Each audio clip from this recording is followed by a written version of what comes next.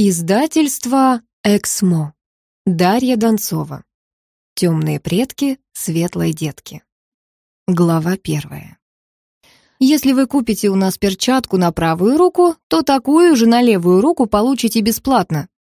Я прочитала объявление раза три, прежде чем поняла его смысл, и рассмеялась. Из магазина вышел парень. «Заходите, у нас хороший выбор, и цены приятные». «С чувством юмора у вас тоже порядок», отметила я. Юноша заулыбался. «Кое-кто воспринимает объяву всерьез». «В подобное трудно поверить», — сказала я и тут же услышала женский голос. «Вы продавец?» «Да», — ответил мой собеседник. Я обернулась и увидела симпатичную девушку в красном брючном костюме. «На левую руку дадите перчатку по моему выбору, или у вас только какая-то одна модель?» Продолжила она. Я уставилась на незнакомку, но нет, таких глупышек не встретить, она шутит. «Левая будет соответствовать правой», — пообещал торговец. «Супер!» — заликовала покупательница и кинулась в лавку. Парень поспешил за ней, на пороге он обернулся и произнес. «А вы не верили. Вчера одна женщина поинтересовалась, а варежки можно? Если я приобрету две пары, то левую рукавичку дадут в подарок к двум или только к одной?» Тихо хихикая, юноша исчез в магазине. Я двинулась к машине, и тут мне на телефон прилетело сообщение от Нины, няни Дунечки, а заодно и нашей домработницы. «Уважаемая Дарья, прошу простить меня за то, что отвлекаю вас. Если вы еще не ушли из торгового центра, то купите пару пачек бни борзой. Марина очень просила». Я задумалась. Нина слишком хорошо воспитана. На днях она сказала нашему мопсу, «Дорогой Хуч, извините, что мешаю вам отдыхать, но мне нужна шаль, на которой вы лежите. Сделайте одолжение, приподнимитесь, я ее возьму». Просто согнать собаку Нине в голову никогда не придет. В придачу к вежливости няня аккуратно до занудства, маниакально чистоплотно. И у нее начисто отсутствует чувство юмора.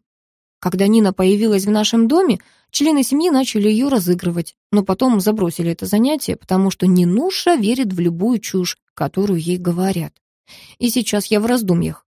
Марина решила подшутить над няней, поэтому попросила отправить хозяйке смс о покупке странной вещи «Бня борзая». Или это бня некий экзотический продукт, о котором жена Дегтярева, гениальная кулинарка, знает, а я не способная даже макароны отварить, и не слышала. В конце концов, я позвонила Манюне и услышала. «Абонент недоступен». Вздохнув, я пошла в супермаркет и остановила девушку в куртке с эмблемой «Еда для всех». «Скажите, где можно купить нечто под названием «Бня Борзая»?» Задав вопрос, я подумала, что сотрудница супермаркета или рассмеется, или решит, что перед ней сумасшедшая. Но та ответила. «Посмотрите в отделе специй». Я заморгала. «Бня Борзая — это приправа?» Сотрудница супермаркета очаровательно улыбнулась. «Да-да, именно так. Испытывая глубокое удивление, я добралась до отдела специй и приуныла. Я очутилась в большом помещении, стены его от пола до потолка были заполнены полками с баночками, пакетиками, коробочками. И где тут бню борзую искать? Потом я заметила молодого человека с бейджиком «Виктор, ваш консультант» и кинулась к нему со всех ног. «Бня борзая», — повторил паренек и включил компьютер. «Вам какую?» «Они что, разные?» — изумилась я. «Конечно», — пустился в объяснение менеджер. «У них разный способ обжарки. Африканский, турецкий, китайский, вьетнамский». «Какая бня лучше?» — уточнила я. «Смотря для чего», — задал свой вопрос собеседник. Это был нокаут. Я понятия не имела, что с приправой собиралась делать Марина, и приняла Соломоново решение. «Возьму по одной каждой», «К сожалению, товар для нас новый», — приуныл юноша. Я спросила, «И что?» Виктор развел руками. «В наличии только африканская». «Беру?» — воскликнула я. «Бня продается в пакете, на развес не идет. Прекрасно, мне одну штуку», — решила я. «В данный момент на складе ее нет», — заявил парень. «А зачем тогда вы так долго выясняли, что мне надо?» удивилась я. «Лучше бы сразу сказали, что товар отсутствует». «Программа тупая», — пожаловался Виктор. Сначала надо ввести заказ, оформить его, и только потом тебе скажут, есть ли нужный товар. Не расстраивайтесь, привезем приправу вам на дом». «Отлично», — обрадовалась я и тут же усомнилась. «Доставят один пакет?» «Конечно», — заверил Виктор. «У нас все для вас. Закажете пучок укропа? Мы его вам притащим. Давайте адрес.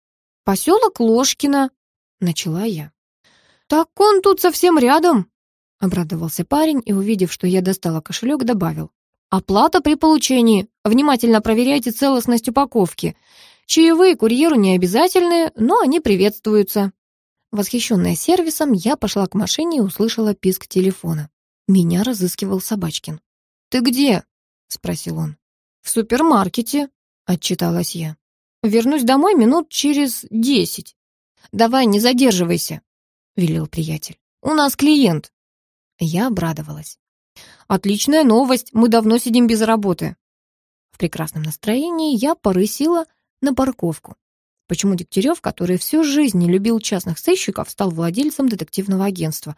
И по какой причине оно носит идиотское название «Тюхплаза», я уже рассказывала и повторяться не хочу. Сообщу лишь, что клиенты к нам не спешат. Александр Михайлович регулярно придумывает всякие рекламные акции, но до сих пор они успеха не принесли. Толстяк постоянно недоволен тем, как идут дела, я же понимаю, что штат агентства невелик. Нас всего пять человек. Дегтярев, Собачкин, Кузя, я и эксперт Леня. Чем занимается последний, понятно. Леонид изучает разные улики, а еще у него масса знакомых и приятелей во всяких лабораториях и научных центрах. Кузя — компьютерный гений. Мы с Сеней два полевых агента или оперативника, называйте как хотите. Полковник осуществляет общее руководство и, когда надо, использует свои связи. Ну и каким образом столь малочисленному составу справиться с большим объемом работы? Я вполне довольна своей службой. А вот Дегтярев спит и видит многоэтажный офис на территории Кремля, очередь клиентов, которые пять раз опоясывает мавзолей, и змеится до Тверской. Александр Михайлович мечтает руководить самым крупным детективным агентством земного шара.